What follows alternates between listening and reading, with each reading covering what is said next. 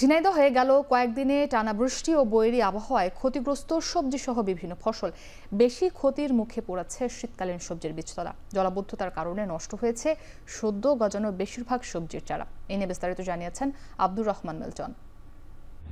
দুই দিনের টানা বৃষ্টিপাতে ঝিনাইদহের অনেক মাঠেই জমেছে পানি।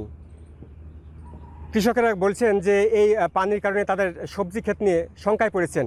জেলায় এবার পাঁচ হাজার হেক্টর জমিতে আগাম শীতকালীন সবজি চাষ করেছে কৃষকেরা। কৃষকেরা আমাদের জানিয়েছেন যে হঠাৎ করে যে বৃষ্টিপাত হয়েছে, সেই বৃষ্টিতে বীজতলা নিয়েও তারা শঙ্কায় পড়েছেন। বীজতলায় জলাবদ্ধতা তৈরি হচ্ছে। এতে করে অনেক কৃষক তাদের যে বীজতলা শীতকালীন সবজির জন্য দিয়েছেন, সেই সমস্ত চারা মারা যাওয়ার শঙ্কা প্রকাশ করছেন।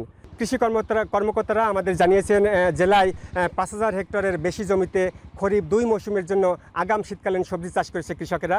তবে এই বৃষ্টিতে কী পরিমাণ কৃষকের ক্ষতি হচ্ছে, এই শীতকালীন সবজি নিয়ে সেই তথ্য এখনও তারা দিতে পারেননি। ঝিনাইদহের মাঠে হঠাৎ করে বৃষ্টিতে আগাম শীতকালীন সবজির যে বৃষ্টির কারণে জলাবদ্ধতা এবং তাদের ক্ষতির সংখ্যা, এছাড়া বীজতলা নিয়ে যে সংশয় দেখা দিয়েছে, সেসব নিয়ে এই ছিল আমার কাছে সবশেষ।